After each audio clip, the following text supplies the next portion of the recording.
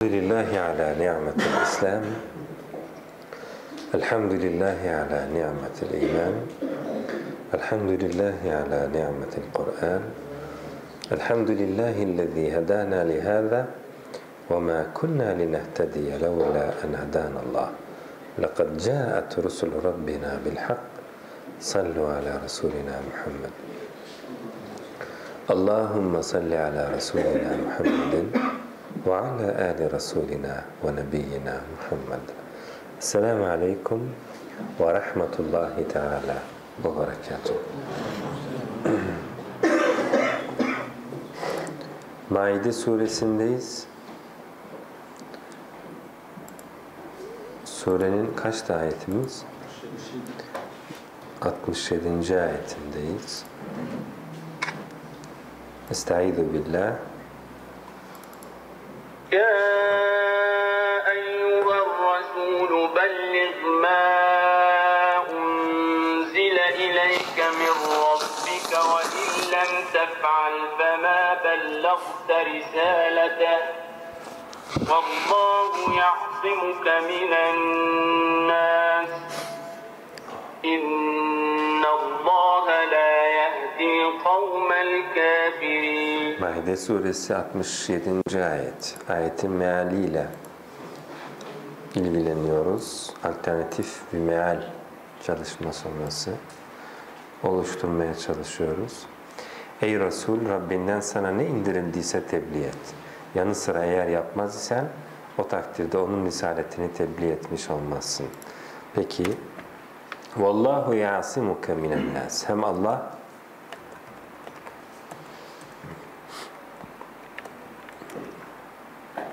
seni insanlardan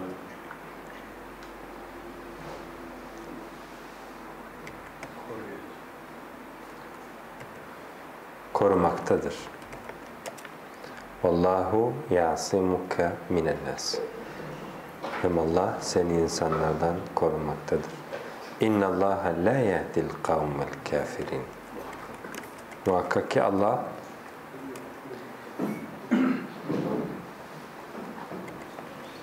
kafirler kavmine hidayet etmez.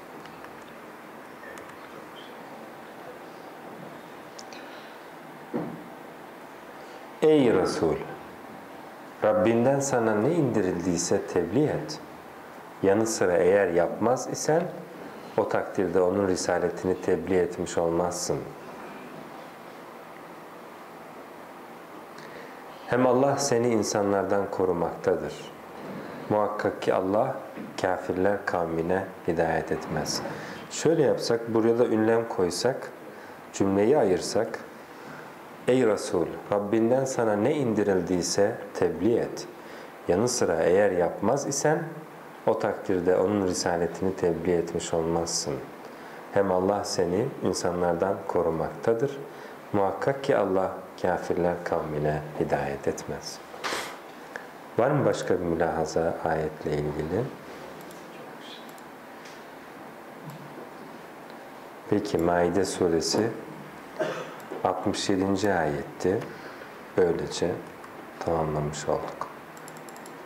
İngilizcesine geçelim.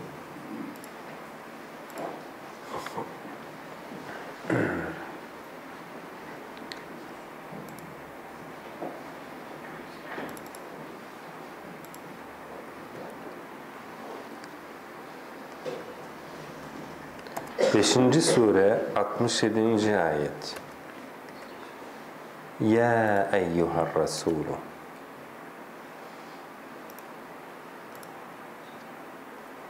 O you the messenger بلغ ما أنزل إليك من ربك deliver what has been descended to you from your Lord. وإن لم تفعل Moreover, if you did not perform bu uygulama gibi olur. If you did- do it. Moreover, if you did not do it, فَمَا بَلَّغْتَ رِسَالَةَ Then you did not deliver his message.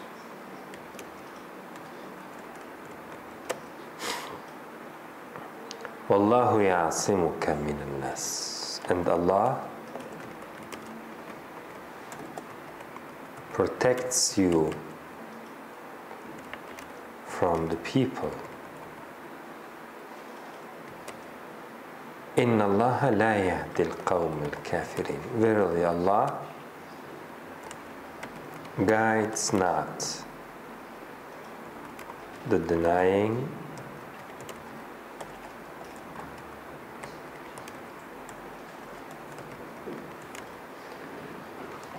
people.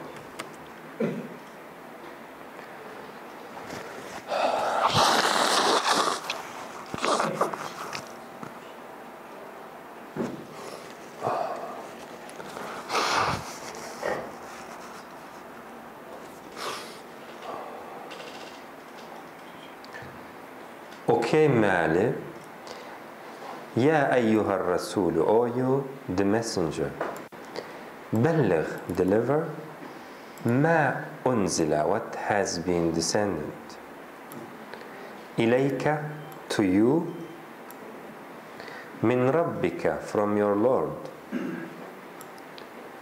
وَإِنْ لَمْ تَفْعَلْ Moreover, if you did not do, it yokmuş. Kendimiz tutup iti koyduk oraya. Moreover, if you did not do, وَإِنْ لَمْ تَفْعَلْ فَمَا بَلَّغْتَ رِسَالَتَهُ Then you did not deliver فَمَا بَلَّغْتَ رِسَالَتَهُ His message. وَاللَّهُ يَعْصِمُكَ And Allah protects you. مِنَ النَّاسِ From the people. إِنَّ اللَّهَ Verily Allah La yehdil kavme zalimin. Guides not the denying people.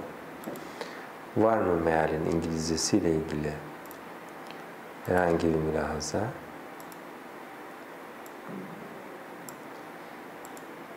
Peki böylece 67. ayeti tamamıyla geçmiş olduk. Gelelim 68. ayete.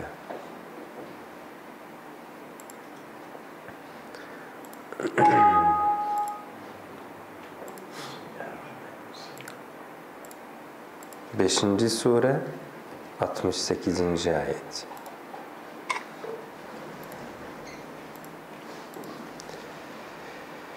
Estaizu billah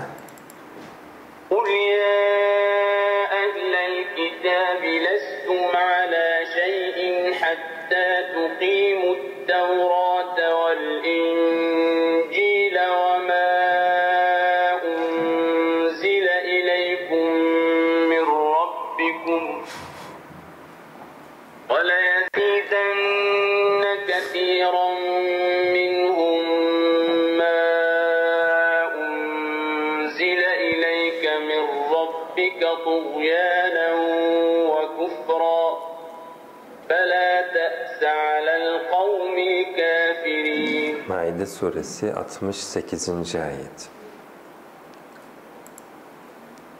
Ehli kitap konusu devam etmekte.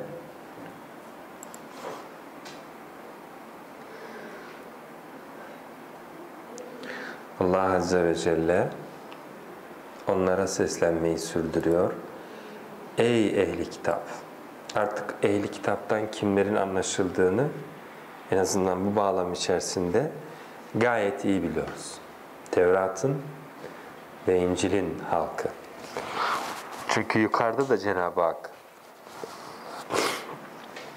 وَلَوْ أَنَّ أَهْلَ الْكِتَابِ اَقَامُوا التَّوْرَاتَ وَالْاِنْجِيلِ Şayet kitap ehli Tevrat'ı ve İncil'i ikame etselerdi demişti. Demek ki ehli kitaptan kastettiği kimseler Tevrat'ı ikame etmesini bekledikleri, İncil'i ikame etmesini bekledikleri kimseler. Yine buraya geldik. Yine benzer bir ayet. Kul de ki ya ehlel kitab ey ehli kitap lestum ala şeyin hiçbir şey üzere değilsiniz. Yani bir geçerli zemininiz yok. Dayanağınız yok. Ve herhangi bir argümanınız da olmaz. Hatta tuqimut tevra.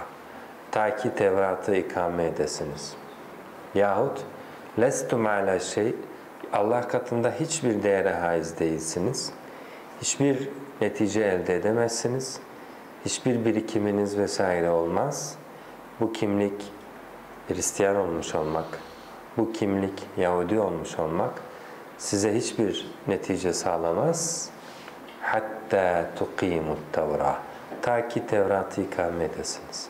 Dolayısıyla lestum ala şey bölümü o kadar mücmel bir ifade ki e, onların yani ellerinde delil olmayışını, netice elde edemeyeceklerini, kimlikleri vesaire mevcut Hristiyanlıklarıyla ya mevcut Yahudilikleriyle sonuç elde edemeyeceklerini bütünüyle hepsini nef ediyor.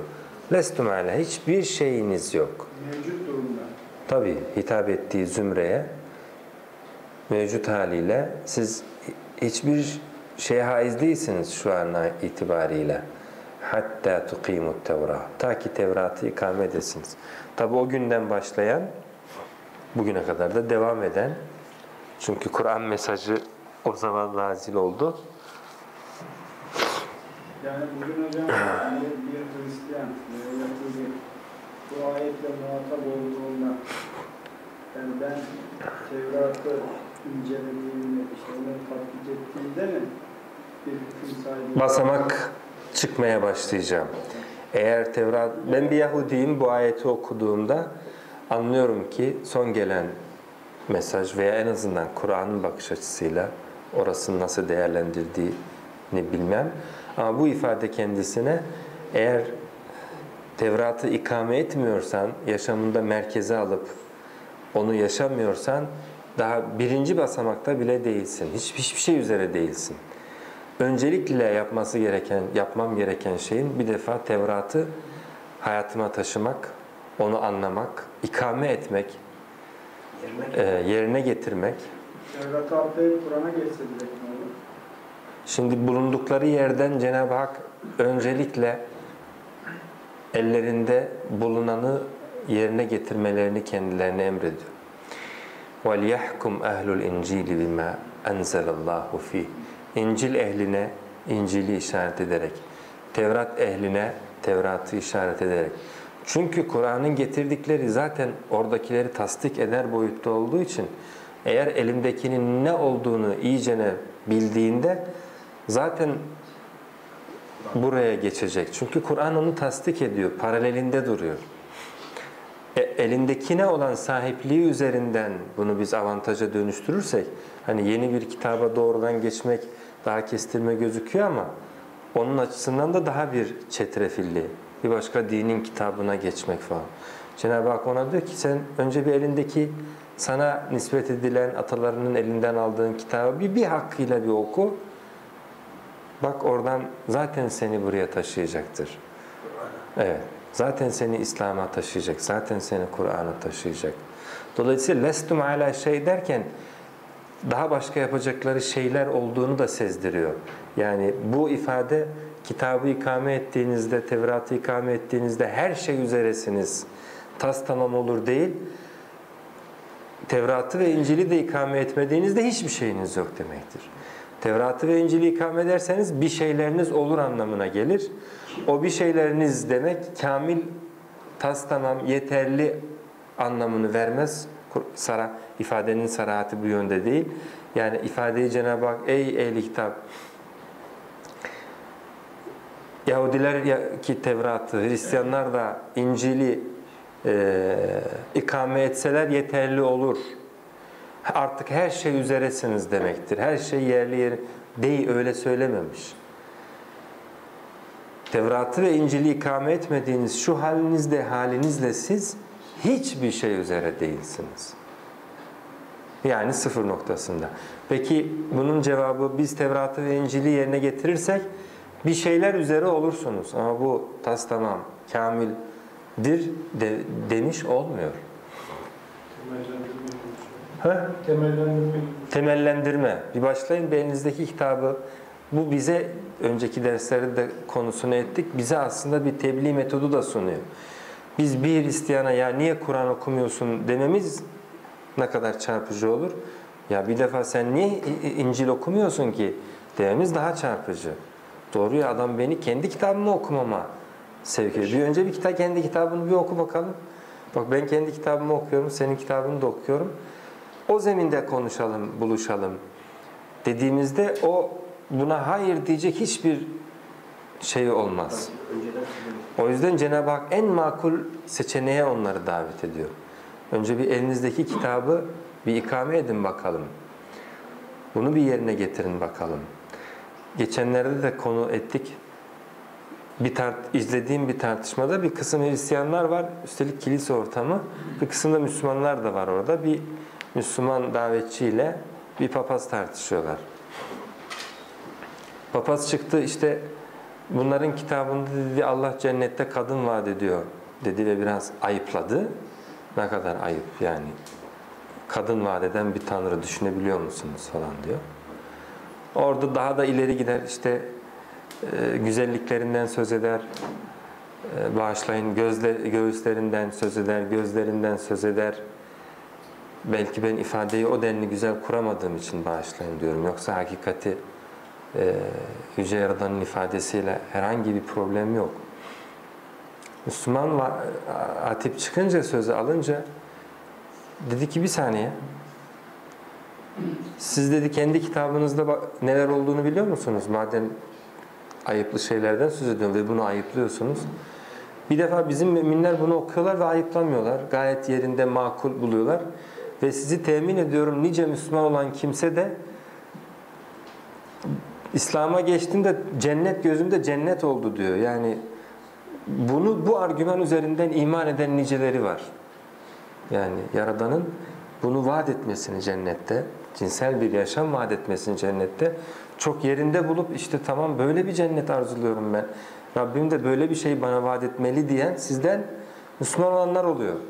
Yani bu kadar bizde hüsnü kabul gören bir şey. Bunun dedi hangi surede geçtiğini bilenler var mı? İşte innelil muttakine mefaze hadaika ve anaba o keva. Herkes oradan Müslümanlar hepsi ama biliyoruz Amme suresinde dediler. Yani bu ifadelerin nerede olduğunu biliyorlar. Peki bunu kaçınız ezbere biliyor dedi? Yine eller havada. Yani sadece bilmekle değil bir de ezberlemişler bunu. Döndü bunlara peki sizin kitabınızda dedi şimdi okuyacağım şeyler. Okuyor oradan. Çok şok edici. Ben de o ana kadar duymamıştım. Bir, kadın cennete giremez. Orada bir sürü Hristiyan kadın oturuyor. Bu kitap size diyor, size cennet yok diyor yani. Bunu biliyor muydunuz diyor. Birbirlerine bakıyorlar. Yani biz cennete girmeyecek miyiz edasıyla bak. Bak. Nerede olduğunu biliyor musunuz? İç içlerine el kaldıran yok. Tabi ezbere de hiç bilmiyorsunuzdur. İşte aradaki bu fark, bu ayrım, bu önemli. Yani kim neye inandığının nedenli farkında ve içtenlikle bunu savunabiliyor, o kadar aklediyor demektir. E kim, e siz akletmekten o kadar uzaksınız ki ne, burada başka şeyler de sayıyor, hiçbiri bilmiyorlar. O zaman sizin kitabınızdan haberiniz yok. Şimdi böyle mi davet edilir? Böyle mi çağrılır? Ki inanç boyutu itibariyle ellerindeki kitap kendi akideleriyle de çatışık bir durumda. Dolayısıyla bir Hristiyan oraya samimiyetle girdi mi Müslüman olarak çıkmaktan başka şansı yok. Ve bunun o kadar çok örneği var ki neredeyse mühtedilerin önemli bir kısmı samimiyetle Hristiyan olmaya kalkıştığı için eyvah Müslüman olacak denmiş ve adam Müslüman olmuş. Böyle el yazmalarını araştıracak düzeyde derinlere işin elementer boyut, boyutta araştırmasına giren kimseler bu işten Müslüman olarak çıkıyorlar. Dolayısıyla Allah Azze ve Celle ilk adım olarak evvela kendi kitabınızı bir ikame edin bakalım. Eğer kendi kitabınızı bile ikame etmiyorsanız hiçbir şey değilsiniz. Hiçbir yerde değilsiniz. Hiç yol almış değilsiniz. Ama kendi kitabını ellemeye, kurcalamaya, incelemeye başlasa yol almaya başlayacak. Dolayısıyla şey ifadesi orada peyderpey bir şeylere dönüşecek ve Cenab-ı Hakk'ın davet ettiği son aşama olan gelen bu son çağrının çağrıya, ittibaya varacak. Ben bu sürecin canlı olduğuna inanan bir kimseyim. Dolayısıyla arada bir yerdeki adamın akıbeti ne olur sorusuna ben diyorum ki o arada kalmaz o kimse. Yani girdi sürece kitabını şey yapıyor, teslise kafası uymadı, reddetli. Tek Tanrı'ya, Yüce Mevla'ya bağlandı, akletti. Orada kalmaz. Onu Cenab-ı Hak bu aklettiği yerden nasıl oraya kadar geldiyse oradan da bu inandığı, aklettiği sonucu en güzel şekilde ifade eden Kur'an'la buluşturur. Dolayısıyla da böyle bir kimse yani tevhide kavuşmuş bir kimse çok önemli bir gerçeğe, çok önemli bir olayın, meselenin %99.9'larına kavuşmuş demektir. Bu bütün nebilerin, rasullerin ortak mesajı bu. Bunun son kitaptaki en güzel anlatıldığı, en güzel savunulduğu, en güzel açıklandığı haliyle, örnekleriyle karşılaşınca meftun olacaktır. O yüzden Allah Azze ve Celle onlara Allah'ın ayetleri okunduğunda harru succeden ve bukiya ağlayarak secdeye kapanırlar. Elem tera ilellezine utu nasiben minel kitabi yud'aune ila kitab yok bu ayet değil. Tutla aleyhim ayatul rahmani harru succeden ve bukiya. Dolayısıyla oraya adım atsın, kendi kitabını incelesin. Sadece o değil, biz de inceleyelim. Bizde de mesela düşünürsek oraya Tevrat ve İncil'in yanına bir de Kur'an-ı Kerim'i koyarsak yani biz okumuyorsak o zaman biz de hiçbir şey üzerinde Evet. Yani üçüncü aşamada gelmek istediğimiz nokta. Yukarıdaki ayetlerde bunu yaptık. Çünkü bu ayetler bize niye okunuyor? Yukarıdaki ayette وَلَوْ أَنَّهُمْ أَقَامُوا التَّوْرَاتَ وَالْاِنْجِيلَ وَمَا أُنْزِلَ إِلَيْهِمْ مِنْ رَبِّهِمْ لَأَكَلُوا مِنْ فَوْقِهِمْ وَمِنْ تَحْتِ أَرْجُلِهِمْ Bu ayeti okurken dedik ki burada kitabın ikame edilmeyiş, edilmemiş olması Tevrat ve İncil'in. Konu bu bağlamda gidiyor ama ehli kitap üzerinden. Fakat bize anlatıldığı yerde e demek ki biz de Kur'an'ı ikame etmiyorsak o zaman aynı yergiye maruzuz demektir. Maruz kaldık demektir.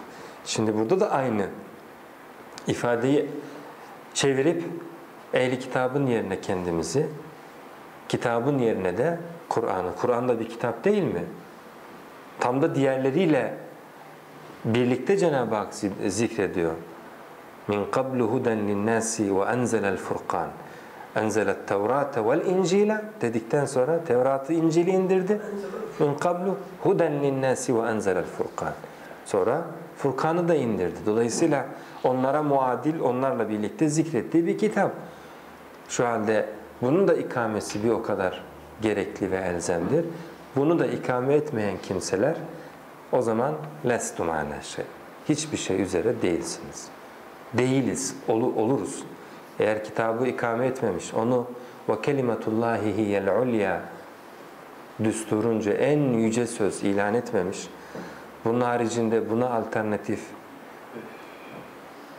başkaca kimselerin sözlerini hayatına sokmuş, ona rağmen kabullenmiş kimseler tabii ki lestum ala şey olur. Hiçbir şey üzere değilsiniz. Değiliz olur. Hocam bir şey sorabilir miyim? Şimdi bizim toplumumuzda Müslüman bir ülkede doğduğumuz için inanç boyutunun tevhid olması insanlarda yeterli kalıyor. Yani namazı kılmamak, işte faizden kaçınmamak, yani sanki bizim itikadımıza ve Müslümanlara bir zarar getirmiyor gibi düşünüyoruz. Evet. Yani bu tarihte hangi dönemlerden sonra böyle bir dönüşümler olabilmiştir?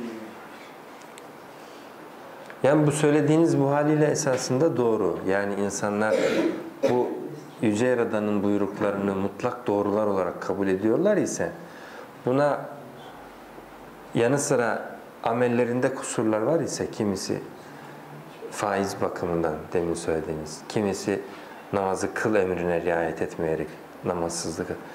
Bu teorik olarak bu haliyle bu kimse hala kurtulabilir. Hala Cenab-ı Hakk'ın rahmetine mazhar olabilir. Hala Allah Azze ve Celle kendisinin günahlarını affedebilir bir durumda demektir. Fakat tehlike şu, bu halini ne kadar sürdürebilir? Yani siz bir yandan en doğrusu bu dediğiniz şeye hayatınızda yer vermeye vermeye ne kadar ilerleyebilirsiniz?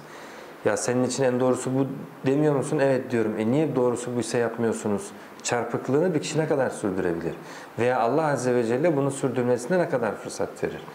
Bir zaman sonra iki yani terazinin bir kefesi inanç boyutuyla doğruların mesela faiz açısından doğrunun faizin batıl olduğuna inanıyor ama muamelatı faiz üzere ise bu iki şeyden bir tanesi hayatın hayatının ileri evrelerinde baskın gelir. Ya itikadını önceler, amelini tenzih eder, temizler, vazgeçer ondan. Yahut da o amel artık itikada sirayet eder ve bütünüyle onu kaplar. Bela men kesebe seyyiaten ve ahatat bihi hatiyetuhu. Bir kötülük işlemiş ki bu kötülükten yakın zamanda geri dönmüyor. Çünkü yakın zamanda geri dönse Allah bağışlayacak. İnnemet tevbetu lillezine ya'melûne seyyiat وليست التوبة للذين يعملون السيئات حتى إذا حضر أحدهم الموت قال إني تبت الآن وللذين يموتون إنما التوبة على الذين يعملون السوء بجهالة ثم يتوبون من قريب Tevbe kötülükleri kısa zaman içerisinde yapıp şey e, günah yaptığında yakın bir zaman içerisinde geri dönenler için söz konusu. E şimdi uzun zaman içerisinde olanları Cenab-ı Hak önceki ayette hatta iza caa ahaduhul mautu qala inni tubtu Ölüm gelince ben şimdi döndüm diyor. Bunu ümitsiz tarif ediyor Cenab-ı Hak. Bunun dönüşü de yok. Dolayısıyla da bu bahsettiğiniz anlayış doğru ama bu anlayış, bu istisnai, bu kritik, bu riskli anlayışı bir toplum yaşam biçimi haline dönüştürür mü? Yaşam anlayışı haline dönüştürür mü? Biz öyle yapmışız. Yani amel açısından kusurlu bulunmayı normal addediyoruz. Bunları ıslah etmek hususunda yeterince refleksimiz yok, zayıf. Benim demin bahsettiğim husus ise daha farklı. Yani bireyler kendileri açısından benim vazgeçilmez doğrularım diye neyi deklare ediyorlar? Müminler kitaplarını deklare ediyorlar. Yani bugün sokağa çıksanız hangi kişiye sorsanız bir konuda Allah'ın dediğine mi dediği mi senin için önemli yoksa başkalarının mı deseniz elbette ki Allah'ın diyecektir. Hatta halkın meşhur ifadesi yani Allah dedi mi akan sular durur. Ayet dedi mi akan sular durur. Bu çok güzel. Ama toplum olarak bunu söylüyor muyuz? Çünkü kavim ifadesi var. Biz, bizim bireylerin böyle söylemesi bir şeye yaramıyor. Sonuçta bir mesele olduğunda aramızda eğer o mesele Allah Azze ve Celle'nin istediği şekilde çözülmüyorsa aramızda o demek ki o demin söylediklerimiz boş. Bizim esas doğrular diye kabul ettiğimiz, deklare ettiğimiz toplum olarak toplumsal mutabakat zemininde ki bu anayasanın tarifidir. Orada biz Yaradan'a karşı minnettarlığımızı ifade edemiyor isek, orada biz Yaradan'ın bu, bu topraklarda biz her şeyden önce Yaradan'a karşı şükran içerisindeyiz.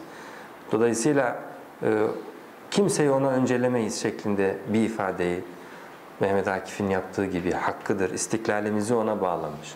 Hakkıdır, hakka tapan milletimin istiklal. Hakka taptığı sürece bu istiklal, bu varlık, bu vatan hak, ilahi bir lütuf hak eder. Ama bundan vazgeçerse ne vatanı kalır, ne istiklali kalır, ne varlığı kalır demek istiyor. Böyle güzel bir ifadeyle bunu seslendirebilsek, bunu toplum olarak tam da her bir her bir bireyin ayrı ayrı kabul ettiği şeyi ortak bir şekilde şey yapabilsek, o zaman bu dediğim şey olur, ikame etmiş oluruz. Böylece öyle olunca da o zaman Yaradan'ın bir konuda söylediği bir söz var ise artık o konuya aykırı bir kanun yapamayız. Çünkü Allah'ın ak dediğine kara demeye hakkımız yok deriz. Allah Azze ve Celle'nin söz söylemediği, tafsilatında bulunmadığı bir konu, herhangi bir konuyla ilgili nice kanunlar, düzenlemeler yapabilirsiniz. Ama onun kara dediği bir şeyi ak ilan edemeyiz mesela öyle bir durumda. Saygılı olacağımızı ilan ettik ya. İşte onu yapmadığımız sürece ben toplumsal olarak bunu ikame etmiş olacağımıza inanmıyorum. Ama bireyler fert fert bunu deklare eder ve bu uğurda bunun mücadelesini verir, çabası içerisine girerse sorumluluktan kurtulurlar. Yani ben böyle olsun istiyorum der ama yap, öyle yapmazlar. Toplumun çoğunluğu buna yanaşmaz. En azından bu yöndeki e, deklarasyonu o kişiyi, o kişi açısından mazeret oluşturacaktır. O sebeple ben konusu geldikçe söylüyorum. Geçenlerde anayasa için işte e, meclis başkanı bir şey oluşturdu, mail oluşturdu, bilmem ne yaptı. Herkese dedi ki nasıl bir anayasa istiyorsunuz? Herkes yazsın. Her vatandaş yazsın. Suç olan bir şey yok. Ben böyle anayasa istiyorum. En azından birimiz, birilerimiz biz bu anayasada Yüce Yaradan'a saygılı olacağımızı bir iki ifadeyle bu vatanı, bu toprakları, bu hayatı, bu millet ona borçlu, ona minnettarız gibi iki kelime ve ona saygılıyız gibi iki kelimeyle ifade edeceğimiz bir madde olsun isterim diyen kimseler, yazan kimseler bu açıdan sorumluluklarını ifa etmiş olurlar. Ne güzel olurdu orada böyle yurt satından gelen bütün maillerde benim anayasamda illaki şu olsun istiyor millet. İşte önemli olan bu şuura kavuşmuş olmak. Bundan uzağız. Bu şuura gelsek meclis başkanı bunu istese de istemese de zaten bu zeminde hissedilecektir. Ama biz bundan uzak bir durumdayız. Çünkü kitabın hayata yönelik hitabını bir şekilde makaslamışız. Ve sadece demin söylediğiniz gibi birkaç amelle sınırlı say sayıyoruz Yaradan'a karşı sorumluluğumuzu. Halbuki Yaradan'a karşı sorumluluğumuz hayatı tamamıyla içine alan bir sorumluluktan ibaret. Kul inna salati ve nusuki ve mahyaya ve memati lillahi rabbil alemin. De ki namazım da, kestiğim kurbanlar da, hayatım da, ölümüm de tamamıyla alemlerin Rabbi olan Allah'a aittir, ondandır. Bunu ona borçluyum. Dolayısıyla demin söylediğiniz güzel. Yani ehli kitaba Cenab-ı Hak kitabınızı ikame etmiyorsanız hiçbir şey üzere değilsiniz diyor ise aynı sözden nasibimizi öyle alıyoruz. Eğer kitabınızı ikame etmiyorsanız veya en azından bu uğurda çabalamıyorsanız kendiniz ele alıp içselleştirip önem verip bireyin önceki ilk sorumluluğu kitabıyla kitabına bu ciddiyetle yanaşıp onu okumak, tahlil etmek, hakikaten Allah katından olduğuna ikna olabilmek. Belki değil. Yani bir sürü dünyada toplum var ki içinde doğan çocuklar hiç de ellerine sunulan kitaplar Allah katından değil yahut yozlaştırılmış. Bizimki de ondan olmayabilir. İçimizde yeni gelen bir birey, yeni gelen bir çocuk, yeni katılan kuşak bunun Allah katından olduğunu tahkik etmekle yükümlü ki kendi imanını tahkik etsin. Yoksa babanın sözüyle iman olmaz, dedenin sözüyle iman olmaz. Öyle olsa Çin'dekiler de zaten o sözü atalarından duymaktalar. Dolayısıyla bireyin ikame etme aşamaları ve bu bireylerden oluşan toplumun kolektif bir şekilde kitabı içselleştirmesi ve onu sosyal açıdan, sosyal bir planda ikame etmesi, bunlar biri biri ardına gelmesi gereken süreçler. Ama buralarda kırılmalar, kopmalar ola ola ola artık bireyin elinde bile kitap yokmuş burada. Yani وَمِنْهُمْ اُمِّيُّونَ لَا يَعْلَمُونَ الْكِتَابِ Kitapsızlık veya kitaptan yalıtmak toplumu yukarıdan aşağı doğru öyle bir geliştirilmiş ki Batı toplumu bunun en güzel örneği. Artık daha toplum bu bir aslında dinsizleşme projesi gibi bir şey şeytanın uyguladığı. Şu anda Batı'da artık Hristiyanın da demeyen yığınla insanlar var. Yani bundan bir 50 yıl önce, bir 100 yıl önce Hristiyan değilimin çok kötü algılanacağı bir toplum şu anda uzaklaştı. Demek ki şeytani projenin amacı önce kimlik dinine dönüştürmek, Sonra da dinin de şeyin altına oymak, o kimlik dini haliyle bile bırakmamak. Yığınla insan şu anda batıda kiliseden, kiliseyle irtibatını kesiyor. Efendim cenazen ne olacak diyenlere ya ne anlamı var ki cenazenin zaten Tanrı yok hepsi yalan deme noktasına gelmiş ve vergi de vermek istemiyor. Resmen de irtibat. Ya senin nikahın ne olacak diyenlere ya nikah dediğin ne ki kardeşim? Yani dini bütün şeylerden tamamen soyutlanmış bir e, topluma dönüşüm devam ediyor orada. Dolayısıyla lestum ala şey dediği Cenab-ı Hakk'ın ikame etmezsen elinde hiçbir şey kalmaz dediği şey zaten tecelli etmiş. Hiçbir şey kalmamış. Zaten artık kişi reddediyor. Hiçbir önemi yok benim için diyor. Lestum ala şeyin hatta tuqimut tevra. Ta ki Tevrat'ı ikame edesiniz. Vel İncil'e ve İncil'i ikame edesiniz. وَمَا أُنْزِلَ اِلَيْكُمْ مِنْ رَبِّكُمْ Ve size Rabbinizden her ne indirildiyse ikame etmek durumundasınız. İkame etmezseniz hiçbir şey üzere değilsiniz.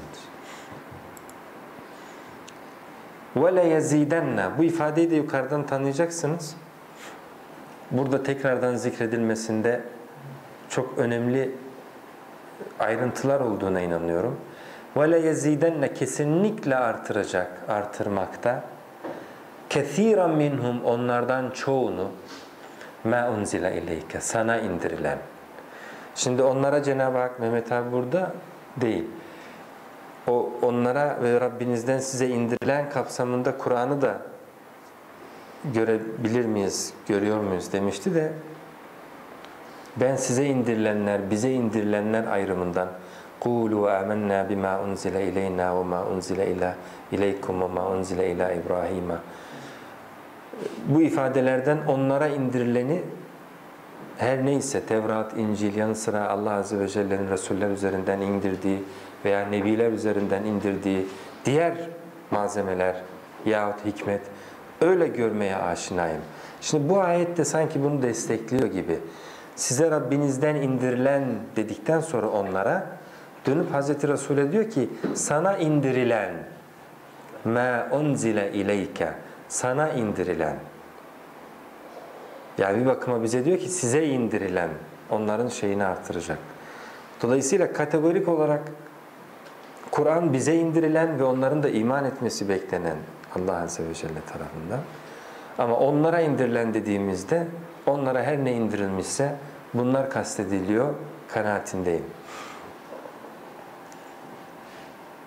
وَلَا يَزِيدَنَّ kesinlikle artıracaktır. كَثِيرًا minhum onlardan çoğunu. Bu ifadenin de özenle korunduğunu görmektesiniz. Yukarıdaki ayette de vardı onlardan çoğunu. Demek hepsini değil. Bir kısmının imanını artırır, bir kısmının müminlere yönelik sempatisini artırır, bir kısmının hakikatini artırır vesaire. Ama o bir grup var, ayrı tutuyor Cenab-ı Hak onları. كَثِيرًا minhum onlardan çoğunu artıracak. مَا اُنْزِلَ اِلَيْكَ Sana indirilen min rabbike Rabbinden neyini artıracak? Doğyanen taşkınlığını artıracak, azgınlığını artıracak, müminlere yönelik öfkelerini kabartacak ve kufra ve iyice yok saymak hususunda, görmezden gelmek hususunda, inkar etmek hususundaki yaklaşımlarını iyice pekiştirecektir. Yani önceki kendi rasulleriyle ve kendilerine vahyedilen kitapla bir şekilde tarih boyunca baş edememiş yahut etmiş her ne derseniz onu korlamanın, üstünü örtmenin, onu hayatın dışına çıkarmanın tam başardım dediği yerde, tam ondan kurtuldum dediği yerde taptaze, buram buram kokan yeni bir vahyin nüzul etmesi çıldırtıcı olmalı. Ki de öyle diyor Cenab-ı Hak. Sana indirilen onların azgınlığını ve taşkınlığını artıracaktır. Çünkü böyle o bir oyun var ya tepesine vurup vurup yok etmeye çalışıyorlar. Bir bak bakıma Yahudilerin vahye karşı tepkileri böyle. Hristiyanlarınki de kısmen öyle. Hz. Yusuf vefat edince demişler ki لَنْ يَبْعَثَ اللّٰهُ مِنْ بَعْدِهِ رَسُولًا Ondan sonra artık Allah Resul göndermez. Yani rahat ederiz. Aramızda birinin Yaradan adına buyrukları hatırlatması çok gıcık bir durum. Niye? Kendi başına buyruk yaşamak isteyenler açısından Risalet rahatsız edici. E, nicelerinde katletmişler. فَلِمَ قَتَلْتُمْ اَنْبِيَاءَ اللّٰهِ مِنْ قَبْلُ diyor Cenab-ı Hak. Sonrasında da yeni bir Resul. Hem de bu kez farklı bir milletten, farklı bir etnik yapıdan veya en azından onların arasında karışmış biri. Aslen Hz. İbrahim'den olsa bile yeni gelen bu risalet ve Kur'an gibi bir kitapla gelmesi onlardan Tevrat'tan, İncil'den sonra onları tamamıyla tasdik eden bu denli muazzam, evrensel, apaçık beyinatı içeren bir kitapla gelmiş olması, dağlara indirilecek olsa dağları düz ezecek, hem zemin edecek bir ağırlıkta, önemde, güzellikte bir kitabın gelmesi, tam baş ettik, hayattan Allah'ı savdık, uzaklaştırdık, kurtulduk dedikleri yerde kucaklarında vahyin mesajını bulmaları rahatsız edici. Dolayısıyla da iyice bir azgınlıklarını artıracak sana gelen vahiy, sana inen vahiy ve onların küfürlerini ziyadeleştirecektir, çoğaltacaktır diyor Cenab-ı Hak. فَلَا تَأْسَ Üzülme. فَلَا تَأْسَ Bu şey demek, boş ver. Yani onlar bu tercihlerini sürdürdükleri sürece, üstelik kuşaktan kuşağa aynı tercihi devam ettiriyorlar. Cenab-ı Hak diyor ki اَتَوَاسَوْ بِي belhum kavmun adun. Bunu birbirlerine vasiyet olarak mı aktarıyorlar? Bak yavrum biz İncil'i bu kadar hayatın dışına itebildik. Siz de aman ha bu süreci devam ettirin, iyice dışlayın, iyice anlamsızlaştırın. Daha da sizden sonraki nesiller iyice, iyice bir bet, tamamen yok etsinler diye bir, bir projenin öyle ardı ardına zinciri halkaları durumdaki durumundalar ki ve yeni gelen vahye de aynı şeyi tepki veriyorlar. Müslümanları da kendi kitaplarından uzaklaştırmak, Müslümanların da elinden kitaplarını çaktırmadan almak, kitabın bu anlamda önemini ortadan kaldırmak için gayretlerini sürdürmekteler. Hem de nesilden nesile, kuşaktan kuşağa. Bunlar bu ısrarlı yolculukta inatçı ve küfürdeki bu ısrarlarıyla devam ettikleri sürece Allah Azze ve Celle boş ver diyor, üzülme. فَلَا تَأْسَ Bunu kime dersiniz? Üzülen bir kimseye dersiniz. Demek ki Hz. Resul'ün iman etmemelerinden ötürü iman etmiyorsanız kendinize kardeşim cehennemde geberip yanacaksınız. Hiç umurumda değil noktasında değildi. Tersine onlar adına birer insan olarak yaptıkları bu yanlış tercihten ötürü kötü bir akibete göz göre göre gitmelerini kaygıyla, endişeyle karşılıyordu, üzüntüyle karşılıyordu. كَأَنَّمَا يُسَاقُونَ اِلَى الْمَوْتِ وَهُمْ يَنْظُرُونَ Göz göre göre sanki ölüme gidiyorlar. Hz. Salih aleyhisselam bela veya sıkıntı, musibet geldikten sonra aralarında şöyle bir dolaşıp فَكَيْفَ آسَى عَلَى قَوْمٍ كَافِرِينَ Şimdi ben nasıl size üzüleyim ki? Demiş ya ya kavmi in nasahtu lekum velakin la tuhibbunen nasihin. Ben size nasihat ettim aslında. Ettim ettim ama siz nasihat edenleri sevmiyorsunuz. Sevmediniz. Şimdi nasıl kafir bir kavmin ardından üzüntü çekeyim? فَكَيْفَ آسَى عَلَى قَوْمٍ كَافِرِينَ Demek ki o an bile onu üzüntü sardı. Yani ona bu denli eziyet etmiş, bu denli ona sıkıntılar yaşatmış. Hiçbir biçimde ona hak ettiği saygıyı göstermemiş, değeri vermemiş kimseler bela ile ortadan kaldırıldıklarında bile nasıl üzüleyim diyor. Burada da Cenab-ı Hak Hazreti Resul'e üzülme diyor. Buradan da nasibimiz olması lazım. Yani adam kabul etmedi, etmiyorlar diye rahatsızlık duymamız lazım. Yani üzüntü çekmemiz lazım. Oh canıma değsin, kabul etmiyor, boş ver anlatma zaten. Cehennemin dibini boylasın şeklinde itici, ötekileştirici, zaten orada kalmalı bu, bu tipler diyen bir yaklaşım değil. Tersine buraya geçse ne iyi olur. O da tercihini olumlu yönde yapsa diyen bundan ötürü üzüntü çeken bir duruş. Bu, bu da Hz. Resul'ün sünnetinden. Gerçi Allah Azze ve Celle bunu teselli ediyor. Yani فَلَعَلَّكَ بَاخِعٌ نَفْسَكَ عَلَى آثَارِهِمْ اِنْ لَمْ يُؤْمِنُوا بِهَذَا الْحَد۪يثِ أَسَفًا Sen onlar yüz çeviriyorlar, inanmıyorlar diye esefinden, üzüntünden neredeyse canına kıyacaksın.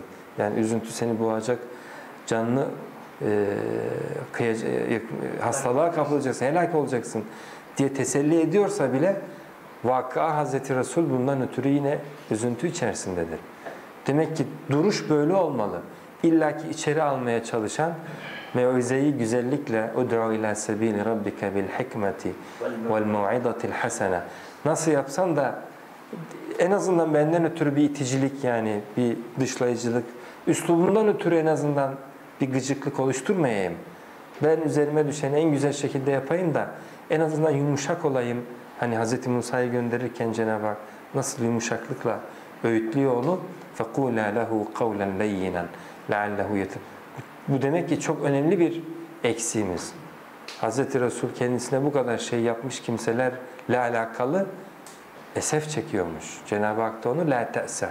Üzülme, boş ver.